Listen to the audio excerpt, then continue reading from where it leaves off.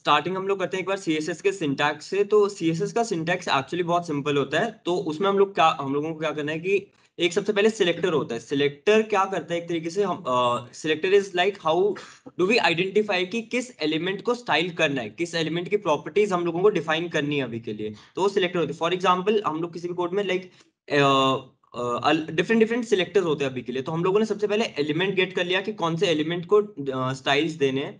Then उसकी different uh, properties होती हैं then semicolon and sorry colon then उसकी वैल्यू एंड uh, कोई भी एक प्रॉपर्टी लिखने के बाद हम लोग उसकी uh, हम लोगों को सेमीकोलन डालना होता है। सिमिलरली हम लोग उसकी property to and semicolon value कर सकते हैं। तो अभी के लिए जैसे देखें हम लोग वी एस कोड में जैसे ठीक है लास्ट टाइम हम लोगों ने यहाँ तक किया था तो आज के लिए न्यू फ़ाइल बना ही। लेते दिखने रहा?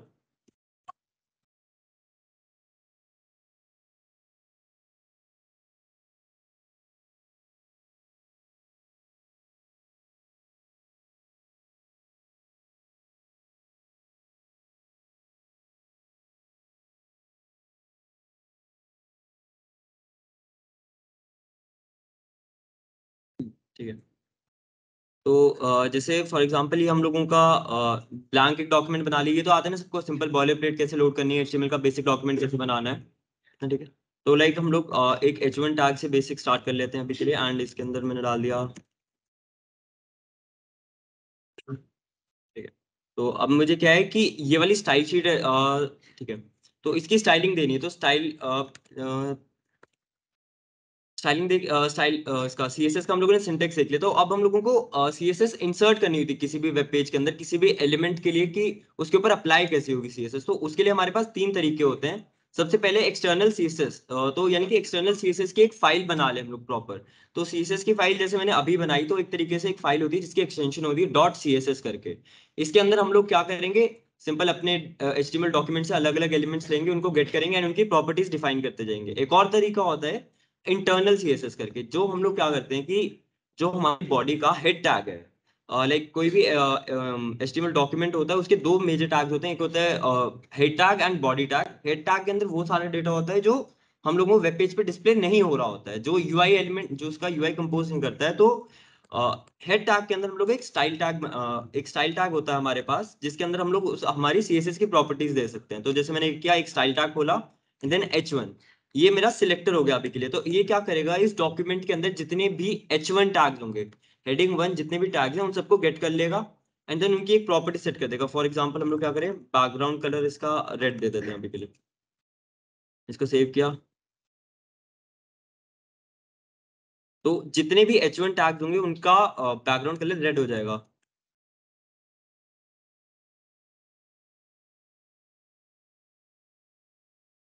अगर मेरे पास चार एच वन टैग्स हैं तो चारों का बैकग्राउंड कलर रेड हो जाएगा अभी के लिए।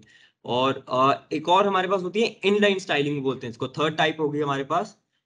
Internal C S S external C S S जो है वो फ़ाइल होती है, वो लिंक करना एक बार बाद में बताऊँगा। Then internal C S S जो हम लोग हेड के अंदर एक स्टाइल टैग बना के करते हैं। देन हमारे पास थर्ड होती है इनलाइन सी एस एस जो हम लोग पर्टिकुलर टैग को स्पेसिफिकली सी एस एस दे सकते हैं। कि मैंने क्या किया? इस वाले एच वन के अंदर स्टाइल एट्रीब्यूट किया। जो ऊपर है वो एक स्टाइल टैग है। एंड यहाँ जो है style attribute attribute and tag में मतलब डिफरेंस uh, पता है ना सबको? तो एच uh, वन के जो स्टाइल एट्रीब्यूट है उसके अंदर मैंने uh, इस वाले का बैकग्राउंड कलर दे दिया ग्रीन दे दिया।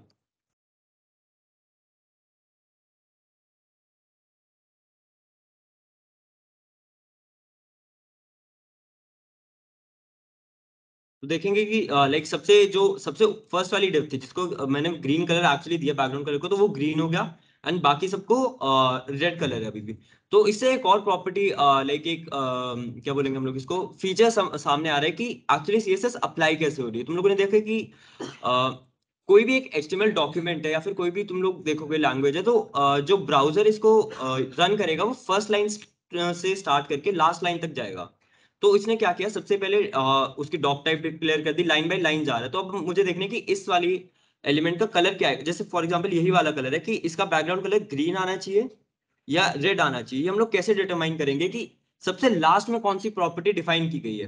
तो जैसे for example line number eleven पे मैंने बोला कि एच वन की जो बैकग्राउंड कलर है वो रेड होगा। बट उसके और स्पेसिफिक जाके H1 में जाके मैंने स्पेसिफिकली बोले कि इसका कलर ग्रीन होगा। तो एक ऑर्डर में चलेगा कि पहले ब्राउज़र को लगा कि ठीक है जितने H1 टैग्स है उनको रेड कलर देना है।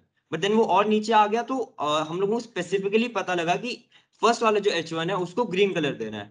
अब सिमिलरली अगर मैं एक एक्सटर्नल स्टाइल शीट है स्टाइल डॉट सी तो अब मुझे इसको लिंक करना है। इसको लिंक करने का तरीका क्या होता है?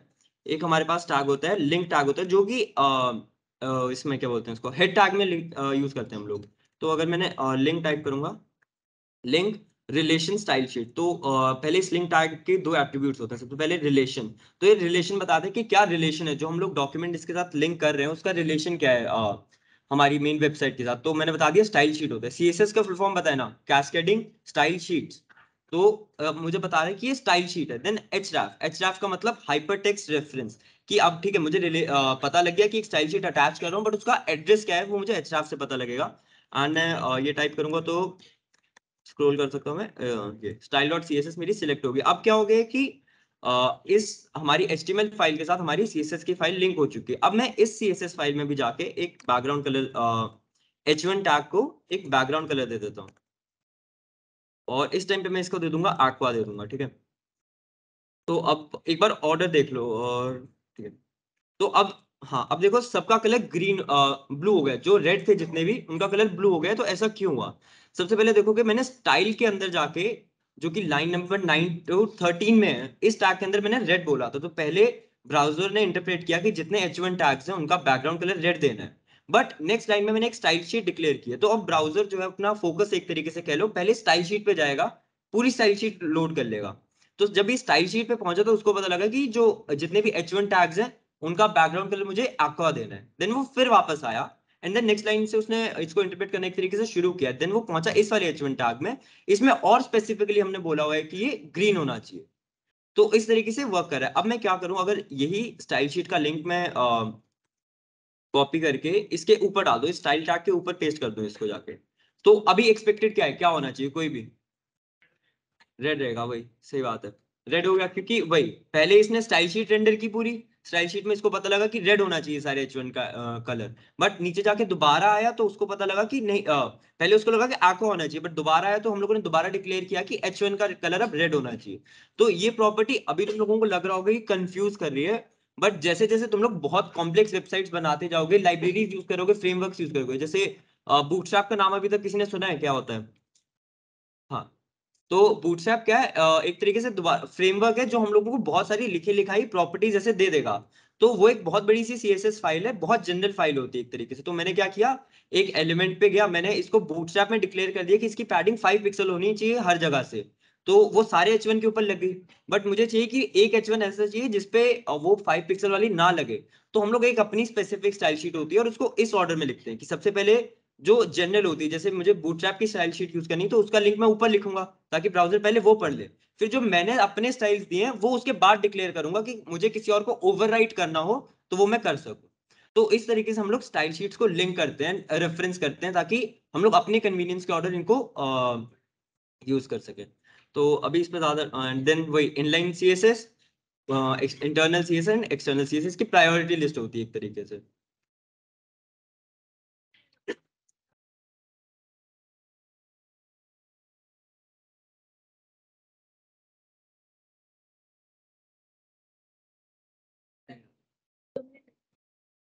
हाँ एक सेकंड तब तक एक बार के लिए सब अपने लैपटॉप के ऊपर एक बेसिक स्टाइल शीट बना लो एंड उसको लिंक कर लो अभी के लिए। जो एग्ज़ाम्पल मैंने अभी किया, वो पता लग गया ना कैसे करना है।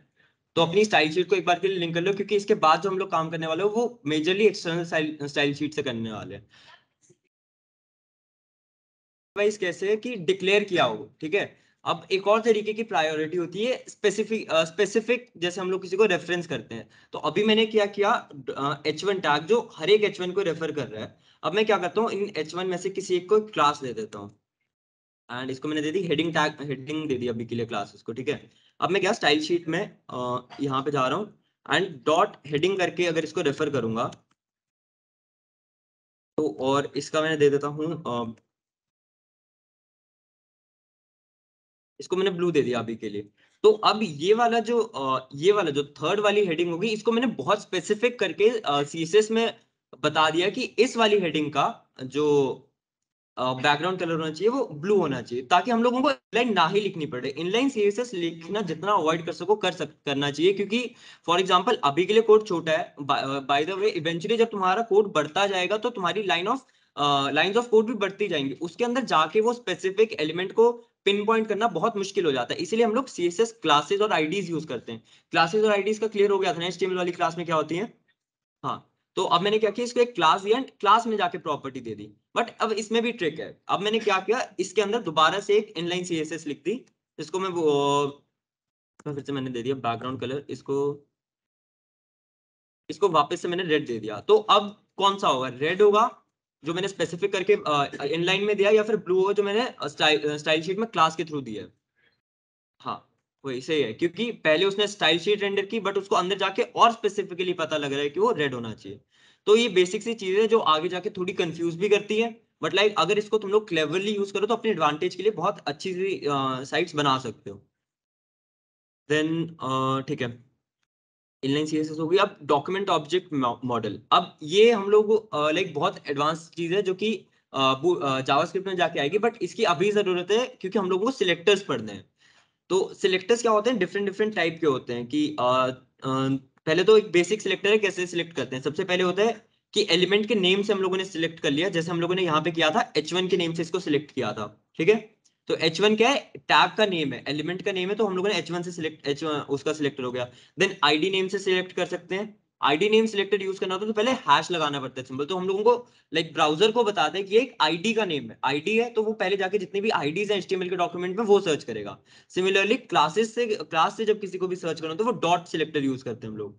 एंड पी डॉट क्लास जब सर्च करेगा तो इससे एक्चुअली क्या होता है जैसे मान लो एक डिव को मैंने क्लास क्लास दे दी है Uh, कोई भी एक क्लास दे दी है। एक डिव है जिसको मैंने एक्स वाई जेड क्लास दे दी है एंड एक पैराग्राफ है जिसको भी मैंने एक्स वाई जेड क्लास दे दी है। बट मुझे स्पेसिफिकली बस पैराग्राफ वो वाला पैराग्राफ यूज़ करना है जिसकी एक्स वाई जेड क्लास है तो उसमें हम लोग P dot X Y Z use करेंगे। तो वो क्या करेगा? पहले वो एक सारे पैराग्राफ्स को सिलेक्ट कर लेगा देन वो मूव करेगा पैराग्राफ में जिसमें class X Y Z class है उनके ऊपर। अब कॉम्बिनेटर सिलेक्टर्स हमारे पास हमारे पास होते हैं कि हम लोगों को जैसे हायरार्की मैंने देखा कि पहले सारे पी सिलेक्ट किए एंड उसके बाद जाके वो क्लास सिलेक्ट की तो इसमें हमारे पास आ, काफ़ी चीज़ होती है कि मुझे डायरेक्टली डिसेंडेंट सिलेक्ट करने हैं चाइल्ड सिलेक्ट करने हैं सिबलिंग सिलेक्ट करने हैं। तो डिसेंडेंट चाइल्ड और सिबलिंग ये समझने के लिए हम लोगों को एक बार के लिए ये डॉम का ग्राफ पढ़ना पड़ेगा अभी के लिए। तो इसमें एक्चुअली होता कुछ नहीं है कि जो हमारी वेबसाइट है, उसको हम लोग एक तरीके से डॉक्यूमेंट बोलते हैं। कि हमारी पूरी वेबसाइट है, वो एक एचटीएमएल का डॉक्यूमेंट है। एच डॉक्यूमेंट पूरा एच टैग के अंदर कंटेंट होता है। अब वो एच टैग जो तुम लोगों ने वो दो मेजर टैग होते हैं head tag and body tag head tag के अंदर सारे जितने भी लिंक्स होते हैं टाइटल हो गए, वो सारा आता है। बट जितना यू है, वो हमारा बॉडी टैग के अंदर आ गया। अब इसके अंदर फिर हम लोगों ने फॉर एग्ज़ाम्पल एक एच टू टैग एक पी टैग एक टेबल टैग तो हम लोगों ने तीन टर्म्स पढ़ी पहले डिसेंडेंट चाइल्ड और सिबलिंग अब डिसेंडेंट क्या होता है? डिसेंडेंट इन जनरल हम लोग किसको बोलते हैं? जो हमारे एंसेस्टर्स हो गए वो सब हो गए तो हम उनके डिसेंडेंट होते हैं। डिसेंडेंट uh, uh, कोई बता सकते लाइक डिसेंडेंट्स कोई गेस करेगा क्या होगा? इस वाले ग्राफ में बॉडी uh, के डिसेंडेंट कौन कौन से हो सकते हैं? एक बार के लिए कोई भी बता दो। टेबल अब टी आर और टी डी होंगे डिसेंडेंट होंगे कि नहीं होंगे? होंगे। टी आर और टी डी जो है, वो उसके डिसेंडेंट्स होंगे। वेर जो एच टू पी और टेबल है, वो डिसेंडेंट तो है ही बट साथ में उसके चाइल्ड भी है। चाइल्ड क्या होता है? The immediate descendant is called the child and immediate क्या बोलेंगे? एंड उसके जो इमीजिएट ऊपर टैग है हायरार्की में, ये इसके पेरेंट हो गया। तो parent element and child element इसको ऐसे बोलते हैं। एंड देन सिमिलरली हमारे पास सिबलिंग्स होते हैं। सिबलिंग्स क्या होंगे? एनी गेसेस हाँ। लाइक like, इस ग्राफ में जो भी सेम लेवल के ऊपर है चाहे कोई भी टैग हो वो सारे हमारे पास सिबलिंग्स होते हैं। अब हमारे पास एक होता है एडजेसेंट सिबलिंग्स कोई नाम से गेस कर सकते नेम में एविडेंट है। जैसे पैराग्राफ टैग है पैराग्राफ टैग के एडजेसेंट सिबलिंग्स कौन से होंगे? एच टू आर टेबल सही है। एंड टीडी का parent T R T R का चाइल्ड टीडी बस ठीक है। इतनी सी बात है। ठीक है। सो so, अब हम लोगों को क्या करना है कि लाइक like, मुझे स्पेसिफिक टीडी को जैसे रेफर करना होता है तो उसके तरीके होते हैं कि मैं चाइल्ड से रेफर कर सकता हूँ पेरेंट से रेफर कर सकता हूँ वैसे। तो हमारे पास उनको बोलते हैं कॉम्बिनेटर सिलेक्टर तो एक सबसे पहले होता है डिसेंडेंट सिलेक्टर मेरे को किसी भी एक एलिमेंट के डिसेंडेंट्स को सिलेक्ट कर लेना है जाके तो मैं डिसेंडेंट सिलेक्टर यूज़ करता हूँ। डिसेंडेंट सिलेक्टर क्या होता है? एक सिंपल स्पेस लिख के कर देते हैं। तो अभी के लिए चलो। ठीक है। हम लोगों ने पाँच एच बना रखे हैं अभी के लिए। डिव बनाता हूँ एंड उस डिव के अंदर पाँच पैराग्राफ्स बना देता हूँ। शॉर्टकट है ये भी देखते जाओ कि तुम्हें बार बार ना लिखना हो तो हम ऐसे लिख सकते हैं।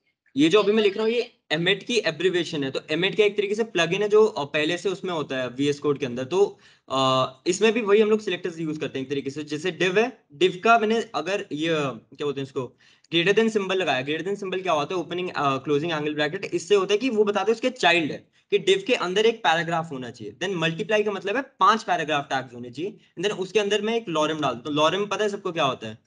डमी डमी टेक्स्ट ऐड करना है इसके लिए। तो मैंने ये डिव किया एंड उसके अंदर पाँच पैराग्राफ टैग्स हमारे पास आ गए डमी टेक्स्ट के साथ। तो बार बार लिखने की जगह ये आसान पड़ गया मेरे लिए। अब मैं क्या करूँगा कि मुझे चाहिए ये जो डिव टैग है पहले मैंने डिव उसको अभी मैं सिर्फ़ एलिमेंट नेम से गेट कर रहा हूँ। डिव के जितने भी पैराग्राफ टैग्स होंगे वो सिलेक्ट कर लेगा। उनको एक बैकग्राउंड कलर दोबारा से एक्वा दे देगा अभी के लिए। काम करते हैं इसके अंदर ही आ, हम्म।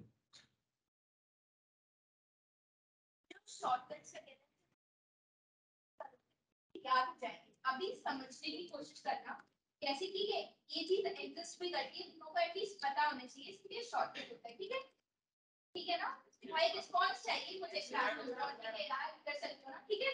और कोई भी डाउट होता है तुरंत हैंड करो एंड आराम से बोलो ठीक है?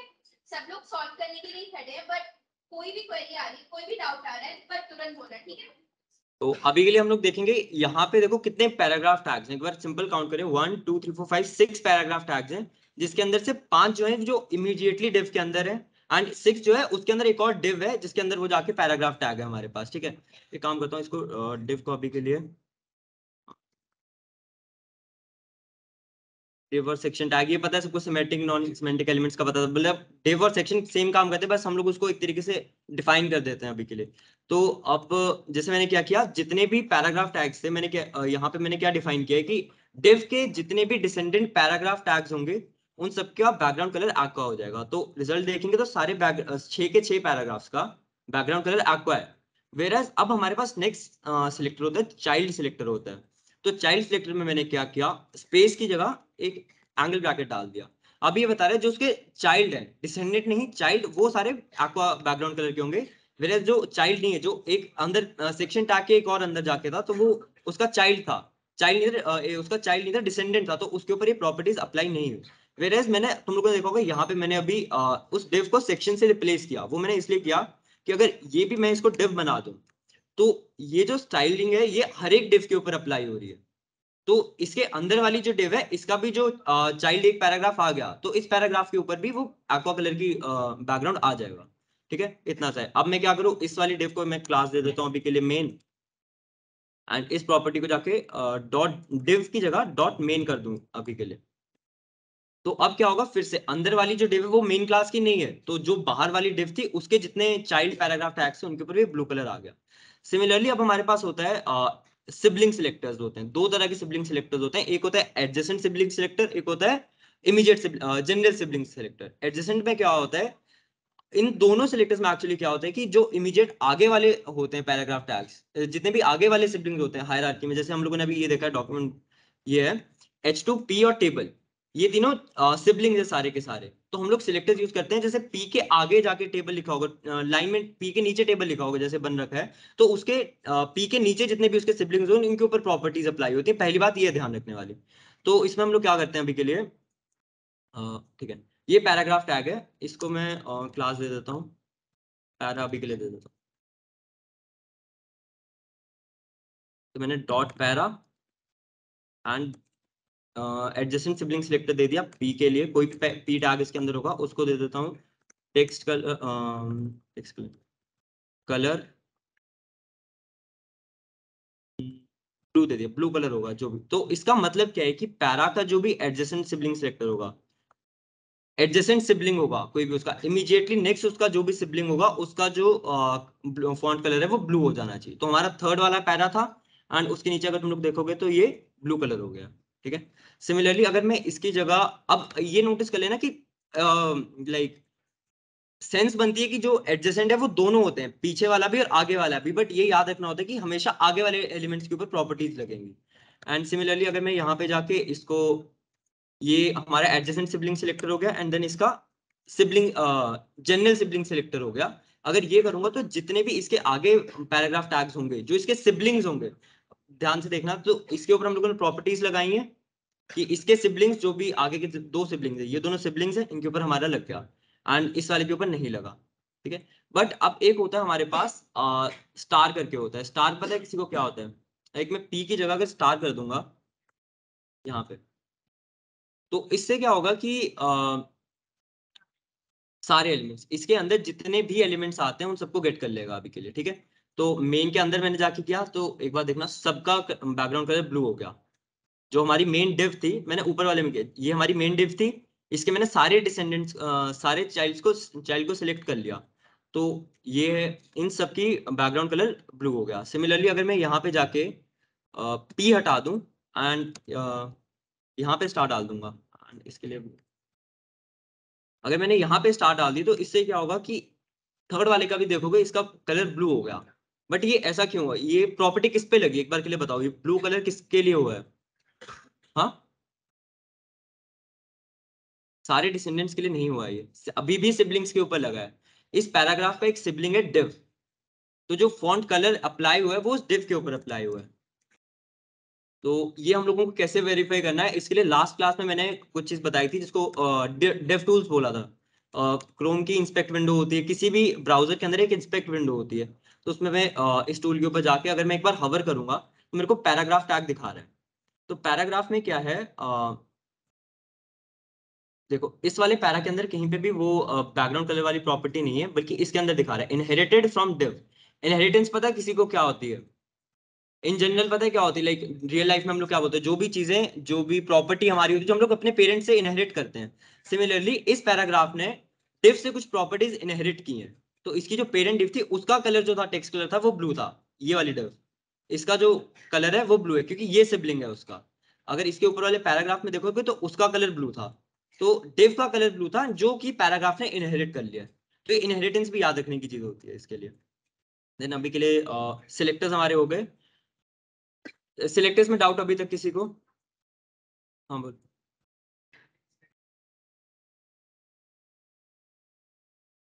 आ, देख आ, ये हम लोग तब यूज़ करेंगे जैसे अब मेरे पास यहाँ पे पाँच डिव पाँच पैराग्राफ टैग्स हैं अभी के लिए। मान ले मेरे पास एक डिव है ये। मेरे पास इसकी कॉपीज पड़ी हुई हैं।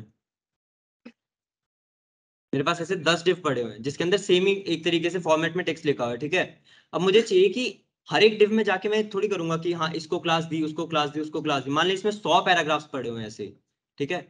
उसके अंदर जाके अगर मेरे को करना हो, तब हम लोग ये सिलेक्टर्स यूज़ करते हैं कि अब मैं क्या करूँगा? मान ली फॉर एग्जांपल अगर आ, मैंने किया कि इसको पैरा दिया इस वाले को पैरा दिया इस वाले को पैरा दिया सबको पैराग्राफ देता गया मैं जाके ताकि आ, उन सबका कलर ब्लू हो जाए। बट ये सब करने की जगह तो मुझे पहले यहाँ पे जाके हर किसी को एक एक क्लास देनी पड़ेगी। सिमिलरली फिर मैं स्टाइल शीट में जाऊँगा किसको क्या कलर देना है वो सब अलग अलग करके देता जाऊँगा तो वो लाइन ऑफ़ कोर्स बढ़ते जाएँगे। वेर ये तो देखेगा दो लाइन के अंदर कोड हो गया हमारा एंड रीडेबिलिटी बढ़ गई इसकी कि पैराग्राफ है लाइक एक बार तुझे याद हो जाएगा ये पैराग्राफ टैग है उसके जितने भी सिबलिंग्स हैं उन सबका कलर ब्लू है। तो एक तरीके से कोड की रीडेबिलिटी बढ़ती है। हमारे को भी, भी तुम लोग डेवलपमेंट करोगे आगे जाके अभी सीख रहे हो। बट लाइक फाइनल प्रोडक्ट जब भी बनाना होगा तो दो चीज़ें जो तीन चीज़ें जो बहुत मैटर करती हैं। एक तो सबसे पहले परफॉर्मेंस होती है कि तुम्हारी वेबसाइट कितनी फास्ट है तुम्हारा ऐप कितना फास्ट है कुछ भी बनाओगे तुम्हारा सी प्लस प्लस में कंपाइल टाइम कितना कम है वो सब होता है तो वो परफॉर्मेंस मैटर करती है। सेकंड थिंग होती है तुम्हारा कोड कितना रीडेबल है। तो इससे क्या होता है हमारा कोड रीडेबल बन रहा है कि uh, एक पैरा क्लास है पैरा क्लास के जितने हमारे पास सिबलिंग्स हैं वो, और सारे के सारे सिबलिंग्स हम लोगों ने सेलेक्ट कर लिए, उनका क्या है? कलर ब्लू है। तो दो लाइन में हमारा कोड खत्म भी हो गया। तो कोड का साइज़ भी रिड्यूस हो गया और कोड रीडेबल भी हो गया, ठीक है? इसलिए हम लोग ये सारी प्रॉपर्टीज़ यूज़ करते हैं।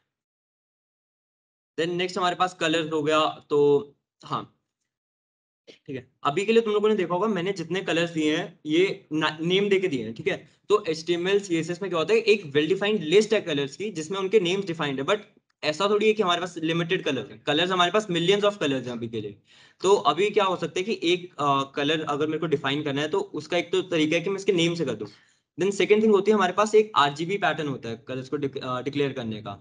तो आरजीबी का मतलब क्या है? ठीक है, ये आरजीबी में हम, मैंने सेम जो एक्वा कलर था, उसको मैंने आरजीबी नोटेशन में लिख दिया। तो इसका मतलब क्या है? फ़र्स्ट वैल्यू का मतलब है रेड ग्रीन ब्लू ठीक है? तो इस ब्रैकेट के अंदर जो फ़र्स्ट वैल्यू है वो दिखाएगी कि हमारे कलर के अंदर कितना पोर्शन रेड है कितना प्रपोर्शन ब्लू है एंड देन कितना प्रपोर्शन ग्रीन का है। तो लाइक तुम लोगों ने किसी ने कलर थ्योरी एक तरीके से पढ़ी है कुछ भी पता हो किसी को भी पेंटिंग वगैरह का या कुछ भी है। ठीक है कोई नहीं। आ, तो प्राइमरी कलर्स किसी को बचपन में पढ़े होंगे प्राइमरी कलर्स होते हैं रेड येलो एंड ब्लू होते थे प्राइमरी कलर्स बट तो उनको जब हम लोग मिक्स करते हैं उनको मिक्स करके हम लोग कोई भी कलर बना सकते हैं।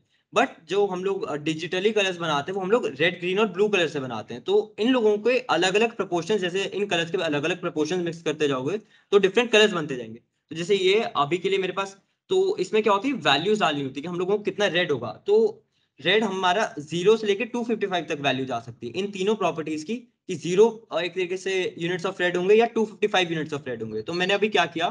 मैंने जाके आरजीबी में रेड की वैल्यू यहाँ पे मैंने हंड्रेड कर दी।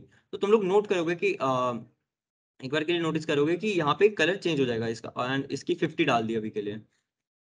तो एक बार देखोगे आउटपुट में इसकी वैल्यू चेंज होगी ठीक है? तो हम लोग ऐसे ही कलर्स के साथ खेल सकते हैं कि यहाँ पे जाके कलर्स के साथ खेल आ, खेल सकते हैं कि आ, कितना रेड करना है कितना ग्रीन करना है वो सब एडजस्ट करके हम लोग डिफरेंट कलर्स बना सकते हैं अभी के लिए। देन सिमिलरली अब इसी में मैं अगर आ, ये वी एस कोड के अंदर हमारे पास एडवांटेज है कि अगर ये जो स्क्वायर बन के आ रहा है इसके ऊपर मैं क्लिक करूँ अभी के लिए कहाँ सॉरी हवर करता हूँ तो मुझे different type of colour notation में स्विच करने का आ, मौका देते तो अब मैं क्या किया? हाँ क्या बोलते हैं? हेक्साडेसिमल इसको बोलते हैं हेक्स नोटेशन बोलते हैं अभी के लिए। तो हेक्स नोटेशन भी एक्चुअली जो आरजीबी नोटेशन हम लोगों ने देखी है उसके बिल्कुल सिमिलर है बट इसमें एक फ़र्क होता है। किसी को पता है बाइनरी डिजिट्स पता है सबको क्या होते हैं? डेसिमल डिजिट्स भी पता है। हेक्साडेसिमल पता है क्या होते हैं? हेक्साडेसिमल पता है। तो हम लोगों ने क्या किया है? इसी जो ऊपर हम लोगों ने आरजीबी में कोड कलर का कलर की वैल्यूज़ लिखी थी आज में जो हम लोगों ने कलर्स की वैल्यू लिखी थी वही वैल्यूज़ हम लोगों ने हेक्साडेसिमल में लिखी है। तो सेम uh, ऑर्डर में। तो सबसे पहले रेड की वैल्यू हेक्साडेसिमल में 64 जो है वो 100 के इक्वल होगी। देन uh, जो 50 है that will be 32 and 255 will be FFF ठीक है? तो इस तरीके से हेक्साडेसिमल क्या होगा? ये हमारा कॉम्पैक्ट हो गया कोड फिर से। वही साइज़ का लेंथ छोटी होगी इसमें। एंड देन एक और हमारे पास कलर की नोटेशन होती है।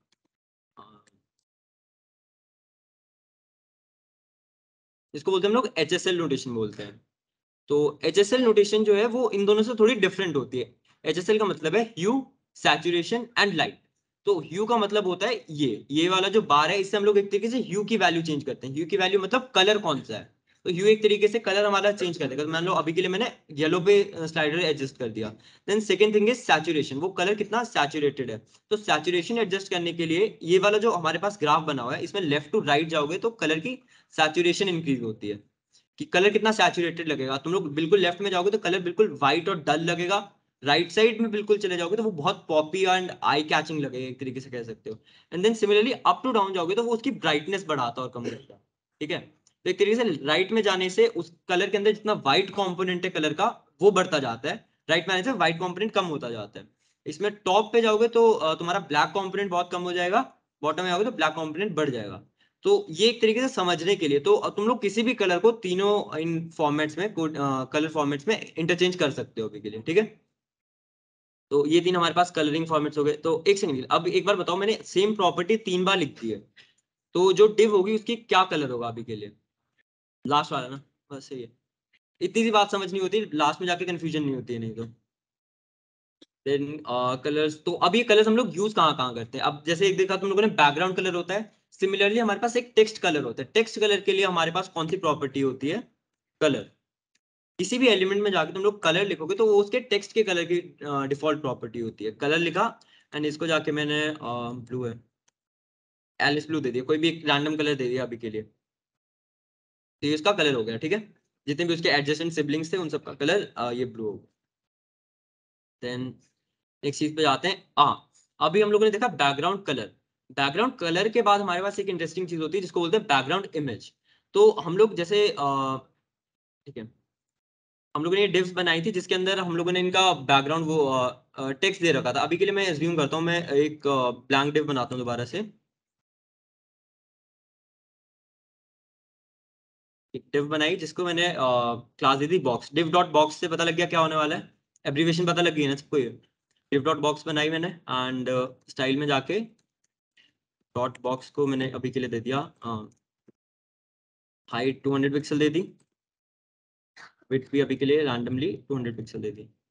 तो हाइट और विथ प्रॉपर्टी पे भी यहाँ पे एक बार रिवाइज कर लेते हैं। तो किसी भी ब्लॉक और इनलाइन और इनलाइन ब्लॉक एलिमेंट्स का पता है सबको क्या थे?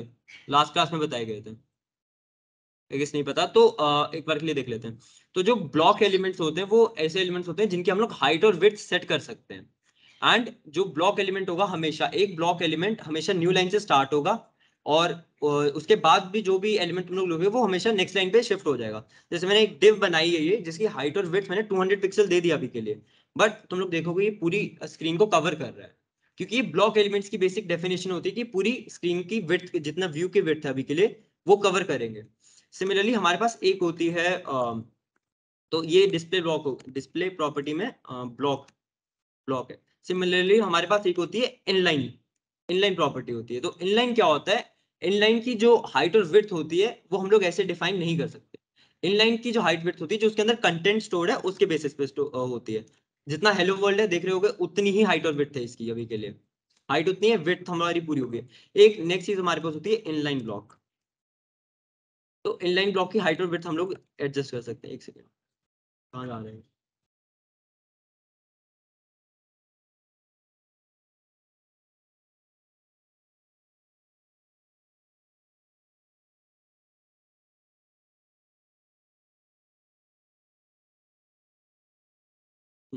ये आ गया एंड तो ये कहाँ पे काम आएगा? जैसे मैंने एक डिव डॉट बॉक्स बना रखा है।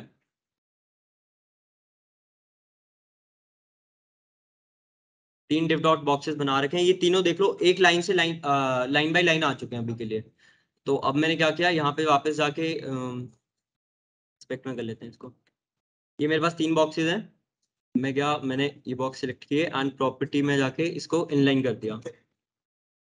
अब तुम लोग देख लोगे, वो बॉक्सेस गायब हो गए हैं। वो गायब क्यों हुए? क्योंकि मैंने क्या किया था, इन बॉक्सेस को इनलाइन एलिमेंट बना दिया था। इनलाइन एलिमेंट की हम लोग हाइड्रोवेट सेट नहीं कर सकते हैं। बट अब मैं इसको इनलाइन की जगह इनलाइन ब्लॉक दे दूँ। तो अब ये तीनों बॉक्सेस साइड बाई साइड आ गए, ठीक है? तो अब इनलाइन ब्लॉक से क्या होगा, जो ब्लॉक की प्रॉपर्टी होती है कि वो हमेशा एक न्यू लाइन से स्टार्ट होता है हंड्रेड परसेंट विथ कवर करता है, वो प्रॉपर्टी हट जाती है एंड उसकी जो हम लोग डिफाइन करते हैं प्रॉपर हाइट वो रह जाती है अभी के लिए। तो ठीक है। मैंने क्या किया, इसको इनलाइन ब्लॉक दे दिया अभी के लिए। यहाँ से एक्स्ट्रा डिविजन डालता हूँ तो अब हम लोग बैकग्राउंड उसकी बात कर रहे थे बैकग्राउंड इमेज की बात कर रहे थे। तो बैकग्राउंड इमेज एक प्रॉपर्टी होती है आ,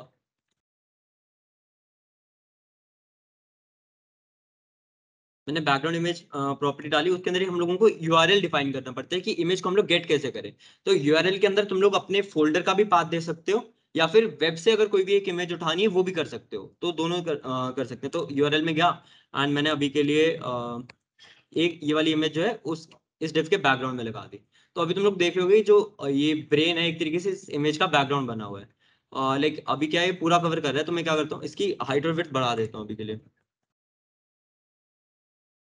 500 बाई 500 कर दिया तुम लोग देख रहे कि जो ब्रेन की इमेज है, वो रिपीट कर रही है। वो रिपीट क्यों कर रही है कि जो ब्रेन इमेज की जो बेसिक हाइट और विथ जो इमेज की थी असली, वो इतनी सी थी तो एक बार वो खत्म हो गई तो वो इसमें एक डिफ़ॉल्ट प्रॉपर्टी होती है बैकग्राउंड रिपीट करके।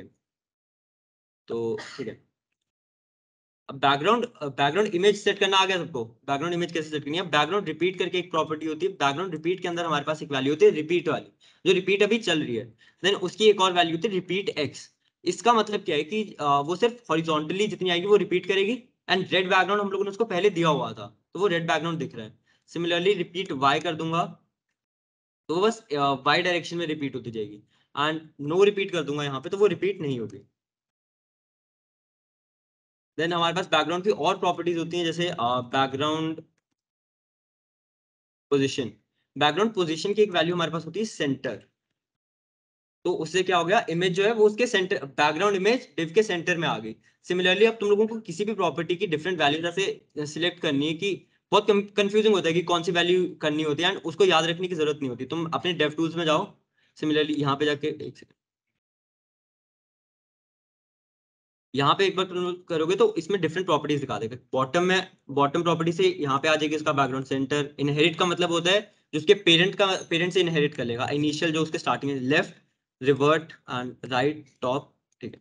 तो इसमें हमारा कुछ मेन होती है। लाइक मैंने अभी के लिए इसको सेंटर पे रख दिया। देन uh, और हमारे पास प्रॉपर्टीज़ होती हैं बैकग्राउंड पोजीशन हो गई uh,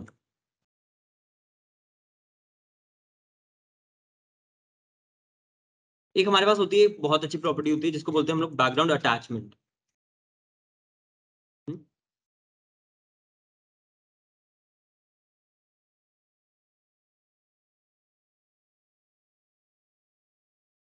तो बैकग्राउंड अटैचमेंट से हम लोग क्या कर सकते हैं कि uh, इसकी इनिशियल वैल्यू होती है स्क्रोल तो जब भी हम लोगों की मान लो ये,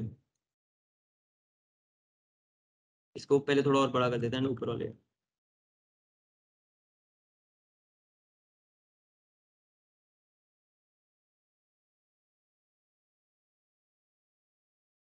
इससे काफ़ी हम लोग कूल इफेक्ट्स डाल सकते हैं इसके ऊपर। तो अब हमारी जो ये इमेज है, ऐसे दिख रही है अभी के लिए। मैंने क्या किया, इसकी हाइट भी थोड़ी और बढ़ा दी। ठीक है? तो ये ऐसे दिख रहा है अभी के लिए। तो मैंने क्या किया, इसकी जो बैकग्राउंड अटैचमेंट स्क्रोल ये डिफ़ॉल्ट प्रॉपर्टी है, इसकी जगह मैंने फिक्स कर दिया। तो इससे क्या होगा इमेज जो है, जो बैकग्राउंड अटैचमेंट फिक्स करने से क्या होता है, जो इमेज पोजीशन लेती है अपनी, वो व्यू पोर्ट के हिसाब से लेती है। व्यू पोर्ट पता है सबको क्या होता है? व्यू पोर्ट होता है एक तरीके से जितनी स्क्रीन हम लोगों को अभी दिख, जितनी ये ब्राउज़र की विंडो है, जिसके अंदर हमारी वेबसाइट डिस्प्ले हो रही है अभी के लिए, उसको व्यू पोर्ट कहते हैं। इस इंस्टेंस पे व्यू पोर्ट हमारा इतना बड़ा है। ये यहाँ से लेके यहाँ तक, इतना। ये हमारा व्यू पोर्ट है अभी के लिए। मैं इंस्पेक्टिव विंडो अभी के लिए अगर क्लोज कर दूँ तो ये इतना बड़ा व्यू पोर्ट हो गया। तो हम लोगों ने यहाँ पे क्या इसको प्रॉपर्टी दी थी कि बैकग्राउंड की पोजिशन जो है वो सेंटर पे होनी चाहिए। तो जब हम लोगों ने बैकग्राउंड अटैचमेंट फिक्स कर दिया तो बैकग्राउंड इमेज जो है वो पूरे व्यू पोर्ट के हिसाब से अपने आप को सेंटर कर दिया इसने। अब मैं इसको स्क्रोल करूँगा। तो तुम लोग देख रहे हो कि वो स्क्रोल नहीं हो रहा एक्चुअली बैकग्राउंड वहीं का वहीं फिक्स्ड है। वो व्यू पोर्ट के हिसाब से सेंटर पे फिक्स्ड है। तो इससे काफ़ी अच्छी अच्छी प्रॉपर्टी कूल चीज़ें कर सकते हो अभी जैसे मैंने क्या किया, यहाँ पे गया, मैंने यहाँ पे लॉरम 500 कर दिया अभी मैंने तो 500 वर्ड्स मेरे पास आ गए। जब तुम लोग यहाँ देखोगे तो टेक्स्ट इतना बड़ा आ जाएगा। देखो, पीछे से इमेज स्क्रोल नहीं कर रही है। ऊपर का टेक्स्ट हमारा स्क्रोल कर जा रहा है। तो अभी के लिए तो बहुत ऐसे दिख रहा है बट लाइक तुम लोग अगर जाके इसको अच्छे से इम्प्लीमेंट करोगे तो काफ़ी अच्छी चीज़ें बना सकते पैरालैक्स इफ़ेक्ट एक तरीके से इम्प्लीमेंट करने में इससे हेल्प हो जाती है। देन हमारे पास और काफ़ी प्रॉपर्टीज़ तो यही सेम चीज़ है। जैसे अब इसमें क्या है बैकग्राउंड की ये चार प्रॉपर्टीज़ नहीं है बस और भी बहुत सारी प्रॉपर्टीज़ अगर तुम लोगों को ये पढ़नी हो डिटेल में लाइक कोई भी कभी ना कभी प्रॉब्लम आएँगी। जैसे अभी एक इवेंट हमारा होने वाला है रेप्लिका तो उसमें क्या होगा हम लोग तुम लोगों को एक फ्रंट एंड बना के दे देंगे। तुम लोगों को उसको कॉपी करने एक तरीके से। तो उसमें काफ़ी सारी चीज़ें ऐसी होंगी जिसमें तुम लोगों को बहुत डिटेल में प्रॉपर्टीज़ जान, जानी पड़ेगी। तो उसमें तुम लोग क्या कर सकते हो मैंने क्या किया background property C S S मैं गूगल सर्च करूँगा तुम्हें बहुत सारे डॉक्स मिल जाएँगे। जैसे लास्ट क्लास में बताया डब्ल्यू थ्री स्कूल्स के डॉक्स होते हैं मोजिला के डॉक्स होते हैं एमडीन के डॉक्स होते हैं। तो इसमें जैसे फॉर एग्जांपल अगर मैं यहाँ पे चला जाऊँ डब्ल्यू थ्री स्कूल्स वाले डॉक्स में तो ये मुझे दिखा देगा कि कितनी प्रॉपर्टीज़ हैं अभी के लिए इसमें। यहाँ पे देख सकते हो background attachment background blend mode clip colour image किसी भी उसमें जाके बैकग्राउंड इमेज में जाऊँगा देन इसकी कितनी डेफिनेशन एंड यूजेज बता देगा सिंटेक्स बता देगा, इसकी क्या क्या प्रॉपर्टीज़ हो सकती हैं, वो सब बता देगा अभी के लिए, ठीक है? तो ये सब हम लोग जाके ऐसे डॉक्स में लाइक पूरी डिटेल में हम लोग यहाँ पे कवर नहीं कर सकते तो डॉक्स में जाके अच्छे से पढ़ सकते हो। देन अब हम लोग इतना कल लास्ट क्लास तक हो गया था, अब एक बार न्यू चीज़ स्टार्ट करते हैं, जिसको बोलते हैं बॉक्स मॉडल तो C S box model actually एक चीज़ है कि किस तरीके से कोई भी एक एलिमेंट अगर हमारे पास है सी एस एस में तो वो कैसे बिहेव करेगा? एक उसकी हाइट वेट हम लोग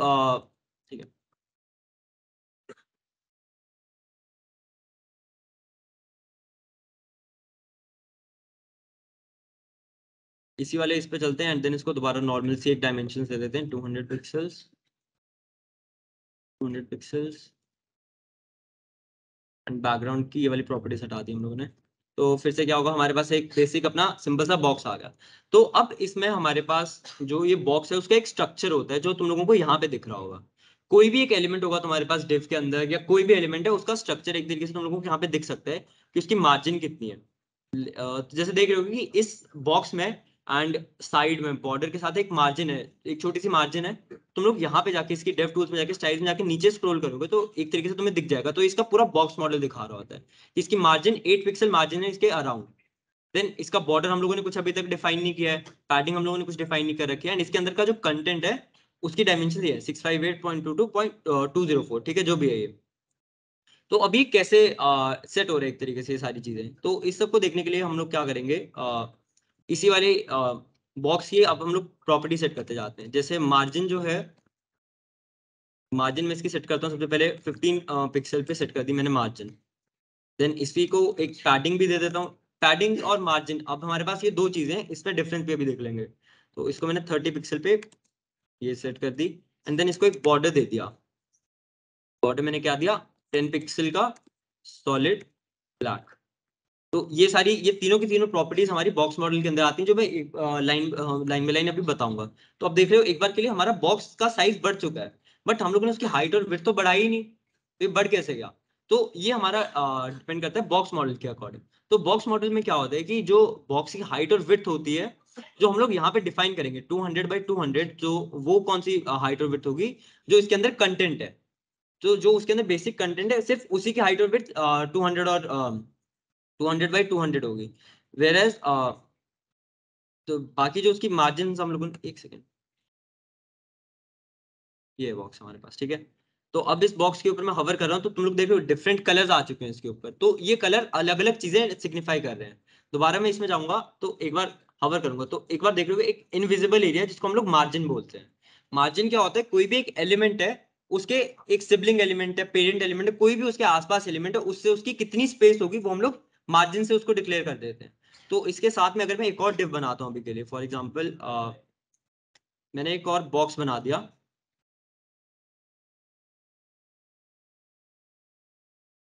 तीन बॉक्सेस बना दिए। तो इन तीनों बॉक्सेस के बीच में कितनी स्पेस होगी, वो हम लोगों ने मार्जिन से सेट कर दी कि एक बॉक्स की मार्जिन देख रहे हो 15 पिक्सल है एंड देन इसके एडजेसेंट बॉक्स की भी मार्जिन 15 पिक्सल है तो उससे इसकी मार्जिन 30 पिक्सल्स के आसपास होगी। देन नेक्स्ट हमारे पास प्रॉपर्टी है पैडिंग पैडिंग क्या होती है कि जो उसकी इनर वाली जैसे बॉक्स के बाहर से हम लोगों ने देख लिया कि कितना डिस्टेंस होगा।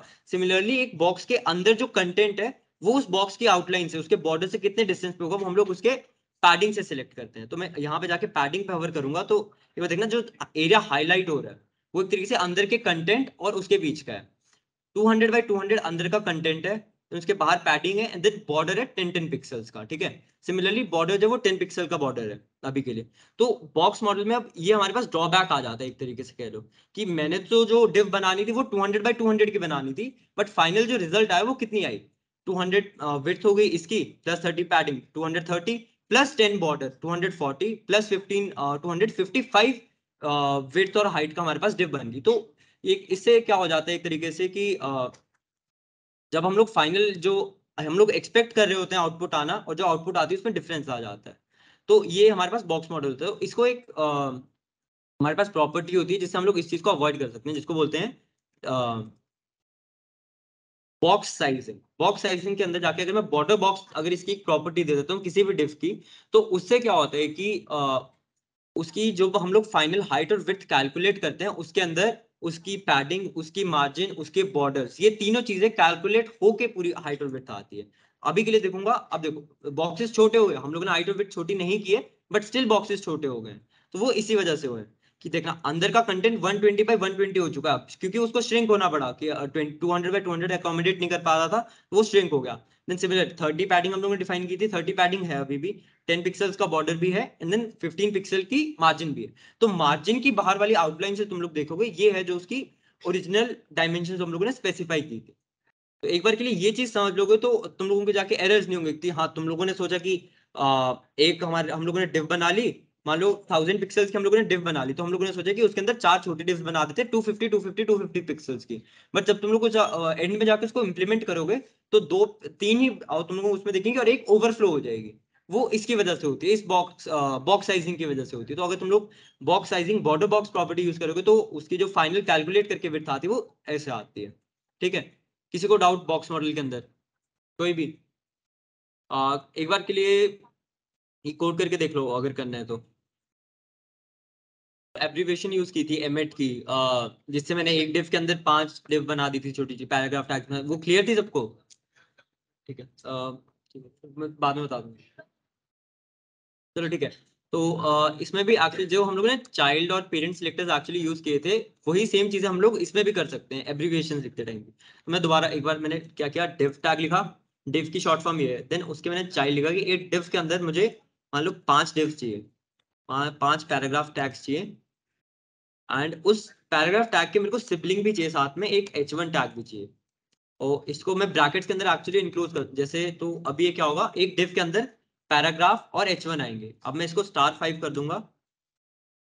तो और इसके अंदर एक ठीक है स्टार फाइव कर दी तो इससे क्या होगा, एक डिव बनेगी, जिसके चाइल्ड होंगे पैराग्राफ और एच वन जो कि पाँच पाँच उसके अंदर पैराग्राफ और एच वन हो जाएँगे। Paragraph H one paragraph H one paragraph H one समझा?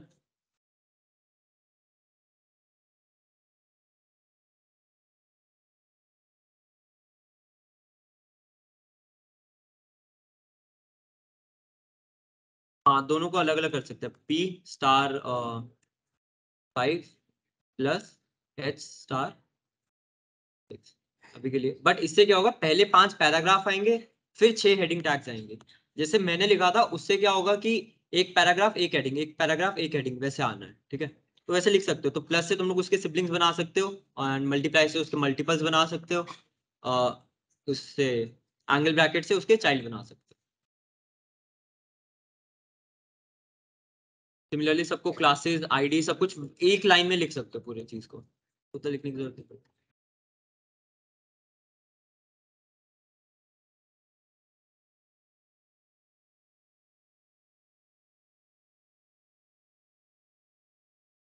हाँ कोड कोड हो गया सबका। अभी के लिए जितना करना था। ठीक है? तो हाँ एक चीज़ आई गेस मिस हो गई थी कि पैडिंग एक्चुअली वर्क कैसे करती है? तो एक बार के लिए मैं वो दिखा देता तो मैं आ, अभी क्या करता हूँ, जैसे मैंने इसकी बॉक्स की एक हाइट दे रखी है हाइट हटा देता हूँ अभी के लिए। थोड़ा अभी के लिए ऐसे दिखा देता मैंने यहाँ से बॉक्स की हाइट दिखा दी एंड सारे इसके अंदर मैं एक डमी टेक्स्ट लिख देता हूँ।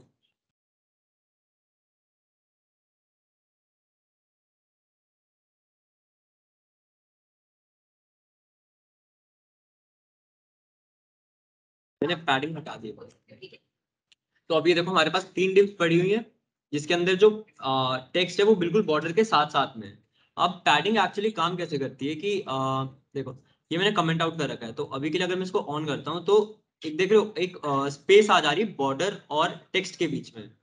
ये जो स्पेस आ रही है इसको पैडिंग बोलते हैं ठीक है? तो अंदर के कंटेंट और आउटलाइन के बीच में जो स्पेस होती है उसको पैडिंग बोलते हैं।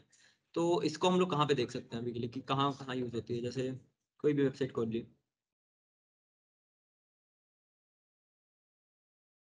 ये खोली सिंपल डब्ल्यू सी स्कूल की वेबसाइट खोली। अब तुम लोग देख रहे होगे, ये ट्यूटोरियल लिखा हुआ है।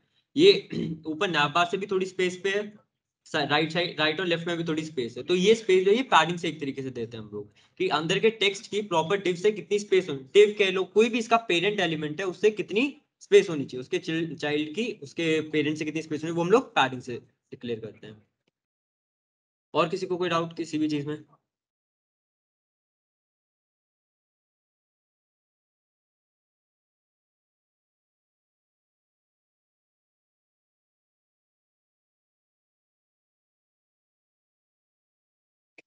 अब एक बार के लिए वो भी देख लेते हैं कि लाइक इनलाइन ब्लॉक एलिमेंट्स वो सारे हम लोगों ने यूज़ अभी के लिए डिफाइन कर दिए थे बट उनको एक बार के लिए यूज़ कैसे आएगा? तो वही यूज़ है कि जैसे मुझे चाहिए था कि पैराग्राफ्स uh, जो है यूजुअली कैसे uh, यहाँ पे दिया ना डिस्प्ले इनलाइन ब्लॉक अभी के लिए मैं हटा देता हूँ ठीक है? तो मुझे चाहिए था कि ये सारे पैराग्राफ्स uh, जितने भी डिव्स हैं ये सारी एक साथ आए। एक रूम है तो हम लोगों को सिंपल उससे नहीं आ रही थी। सिंपल डिस्प्ले ब्लॉक होता है, जो डिफ़ॉल्ट प्रॉपर्टी उससे नहीं आ रही है।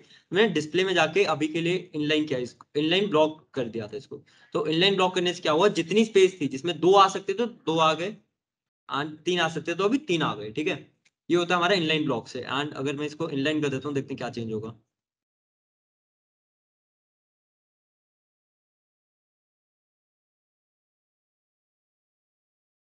एक के ऊपर एक, ये क्या होगा? तो वही है इनलाइन का क्या होता है? इनलाइन में वो, हम लोगों ने उसको हाइट विड्थ कुछ भी नहीं दे पाए उनको एलिमेंट्स को, ठीक है? तो वो एक दूसरे के ऊपर ओवरलैप करने लग पड़े, बहुत वियर्ड से तरीके तो वही होता है इनलाइन ब्लॉक और इनलाइन में ये फ़र्क होता है कि इनलाइन ब्लॉक में तुम उसको हाइट और दे सकते हो इनलाइन में हाइट और नहीं दे सकते हो, इतना सा है। अब तो वही ब्लॉक लेवल एलिमेंट्स और इनलाइन एलिमेंट्स ये पढ़े थे पिछली बार? एच की क्लास में ब्लॉक लेवल एलिमेंट्स और दूसरे एलिमेंट्स होते हैं। तो एक बार के लिए दोबारा देख लेते हैं। जैसे एग्जांपल एक्सप्लेन करने के लिए कि स्पैन और उसमें एक बार के लिए डिफरेंस तो मैंने क्या किया? पैराग्राफ टैग जो होता है एक्चुअली वो एक ब्लॉक लेवल एलिमेंट होता है। तो मैंने क्या किया? लॉटम डाला इसके अंदर फिर से। एंड ये पैराग्राफ यहाँ पे बन चुका है हमारे पास। तो अब देखोगे कि इसके अंदर दो लाइंस बन चुकी है। ये पैराग्राफ चेंज हो रहा है यहाँ पे आके, ठीक है? तो अब सिमिलरली अगर मैं यहाँ पे क्या करूँ, इस पैराग्राफ के अंदर ही एक और पैराग्राफ बना दूँ। पैराग्राफ के अंदर मैंने एक और पैराग्राफ बनाया, जिसके अंदर सिर्फ़ एक एक वर्ड है डॉलर करके। तो ये डॉलर भी अगले पैराग्राफ में चला गया बट मुझे नहीं चाहिए। मुझे चाहिए कि बस मेरे को डॉलर की कुछ प्रॉपर्टी सेट करनी थी, ताकि नेक्स्ट में ना जाए। तो एक ब्लॉक लेवल एक इनलाइन एलिमेंट होता है स्पैन हम लोग इसको स्पैन दे देंगे। तो वो नेक्स्ट लाइन में नेक्स्ट पैराग्राफ नहीं बनेगा उसका, ठीक है? देखो, फिर से नॉर्मल सेटिंग्स में आ गए तो ये फ़र्क होता है ब्लॉक लेवल एलिमेंट्स और इनलाइन एलिमेंट्स में, ठीक है? तो सिमिलरली पी की पी की जगह स्पैन लिखने की जगह मैं जाके पी की प्रॉपर्टीज़ में जाके उसको डिस्प्ले इनलाइन कर देता तो भी सेम ही चीज़ होती ठीक है? तो ये चीज़ें बेसिक सी याद रख ली, याद रखने की। तो अब आगे मूव करें, ठीक है? तो अब हमारे पास, अब तुम लोगों ने एक बॉर्डर प्रॉपर्टी देखी अभी। बॉर्डर के बाद एक और चीज़ होती है आउटलाइन बोलते हैं जिसको। तो आउटलाइन और बॉर्डर में क्या फ़र्क है कि बॉर्डर जो है वो हमारे बॉक्स मॉडल में काउंट होता है। बॉक्स मॉडल में काउंट होने से क्या होगा कि बॉर्डर की जितनी विड्थ होगी वो उस एलिमेंट की विड्थ में काउंट होगी। Whereas आउटलाइन क्या होती है? Outline is a line that is drawn around the element outside the borders ठीक है? बॉर्डर के भी बाहर में वो लाइन बनेगी सबसे पहले तो। एंड उसकी जो विथ होगी वो एलिमेंट की विथ काउंट करने में काउंट नहीं होती है ठीक है? तो अगर मैं अभी सेम इसी रेड uh, वालों के ऊपर जाके एक आउटलाइन दे दूँ। आउटलाइन विड्थ थर्टी पिक्सल्स के दे देता हूँ अभी के लिए। एंड सिमिलर एक और प्रॉपर्टी होती है similarly outline outline colour outline colour इसके लिए अभी के लिए यही दोबारा से। तो अभी तुम लोग जो आउटपुट देखोगे, उसमें एक चेंज आ जाएगा।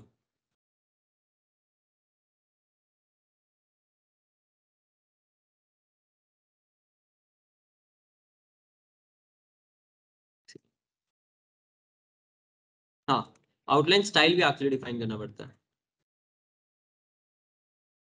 सबसे पहले आउटलाइन स्टाइल हम लोग दिखाएँगे कि हमारे पास सॉलिड है। एक सॉलिड हमारे पास आउटलाइन आ गई है एक इसकी एक इस इन दोनों को कमेंट आउट कर देते हमारे पास एक डिव थी, जिसकी एक आउटलाइन है।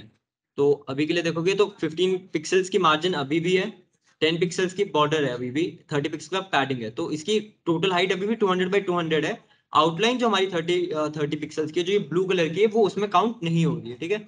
सिमिलरली अब आउटलाइन और बॉर्डर दोनों में क्या होता है? स्टाइल्स हम लोग देख सकते हैं।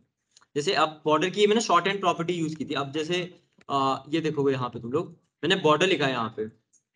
सिर्फ़ एक बॉर्डर कीवर्ड यूज़ किया है। बॉर्डर क्या है? एक्चुअली एक shorthand property shorthand क्या होता है कि border style border colour border widths border ये सब तीन चार चीज़ें प्रॉपर्टीज़ अलग लिखने की जगह मैं एक सिंपल बॉर्डर टेक्स्ट लिखूँगा। अगर मैं इस पर क्लिक कर तुम लोग देखो एक बार इसमें कितनी सारी प्रॉपर्टीज़ एक टैग में कवर होगी। बॉर्डर टॉप कलर ब्लैक है टॉप स्टाइल सॉलिड है। सिमिलरली ऐसे काफ़ी सारी प्रॉपर्टीज़ हम लोग इसमें कवर कर सकते हैं। जैसे मैंने आउटलाइन स्टाइल विथ और कलर लिखा सिमिलरली मैं बॉर्डर को भी ऐसे लिख सकता था कि border colour black border style border style में डॉट डैश दे देता हूँ अभी के लिए। तो अब जो हमारा और इसको हटा देते हैं अभी के लिए। एंड एक बॉर्डर विथ दे दी। बॉर्डर विथ इसको फिर से टेन पिक्सल दे दी। तो अब जो हमारा बॉर्डर होगा वो टेन पिक्सल्स का डैश बॉर्डर बन जाएगा, जैसे अभी दिख रहा है, ठीक है? सिमिलरली आउटलाइन के स्टाइल भी हम लोग, मैं ऐसे ही चेंज कर सकता हूँ। आउटलाइन स्टाइल में भी हमारे पास बहुत सारे ऑप्शन जैसे स्टाइल की सॉलिड की जगह मैंने कर दिया। डॉटेड बाहर डॉट शॉट जैसे बॉर्डर आ गया, ठीक है? सिमिलरली डॉटेड की जगह मैं यहाँ पे डबल कर दूँगा। तो ऐसी काफ़ी सारी चीज़ें तुम लोगों को अभी लग रहा होगा रेलिवेंट नहीं है बट लाइक जैसे जैसे तुम लोग चीज़ें बनाओगे तो तुम लोगों को चाहिए होंगी काफ़ी काफ़ी टाइम जगह जाके कि हम लोगों का बॉर्डर हो बट उसकी विथ को इम्पैक्ट ना करे। जो इसका आउटलाइन जो आउटलाइन है, वो इसके एडजस्टेंट जो भी एलिमेंट होंगे, उनको किसी भी वे में अफेक्ट नहीं करेगी, ठीक है? कि जैसे हम लोगों ने कहा कि जो बॉर्डर होगा बॉर्डर उस एलिमेंट को राइट वाले एलिमेंट को थोड़ा राइट में शिफ्ट कर देगा, क्योंकि वो विथ ऑक्यूपाई करेगा। वेर आउटलाइन जो है वो कोई विथ ऑक्यूपाई नहीं करती इसके अंदर तो वो राइट वाली इसकी राइट में ही रहेगी। तो जैसे अभी के लिए मैं इन दोनों को दोबारा अगर तो अभी देखो, इनके बॉर्डर ओवरलैप कर रहे हैं। ये ओवरलैप इसलिए कर रहे हैं क्योंकि वो एक दूसरे को, जो आउटलाइन है वो ओवरलैप कर रही है। वो ओवरलैप इसलिए कर रही है क्योंकि वो एक दूसरे को इफ़ेक्ट नहीं कर रही है कुछ भी, ठीक है? ओवरलैप कर सकते हैं आराम से। तो अभी अब हाँ अब हमारे पास होती है टेक्स्ट की काफ़ी सारी प्रॉपर्टीज़ होती है तो ठीक है दोबारा से सबको कमेंट आउट कर देंगे। एक और पैराग्राफ टैग से स्टार्ट करते हैं एंड इसको क्लास दे दी हम लोगों ने अभी के लिए। हाँ, बस थोड़ा सा इसको अभी के लिए मैंने टेक्स्ट क्लास दे दी अभी के लिए एंड इसके अंदर मैंने टेन वर्ड्स लिख दिए भी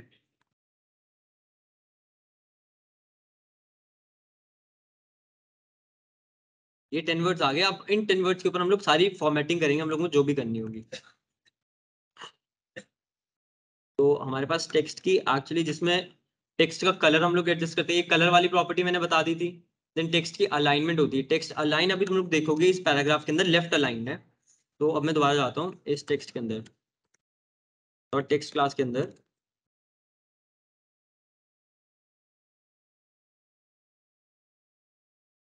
टेक्स्ट अलाइन सेंटर कर दूँगा। वही सिंपल जो हमारे वर्ड में कर सकते हैं टेक्स्ट अलाइन सेंटर हो गया देन टेक्स्ट अलाइन की और काफ़ी सारी प्रॉपर्टीज़ होती हैं।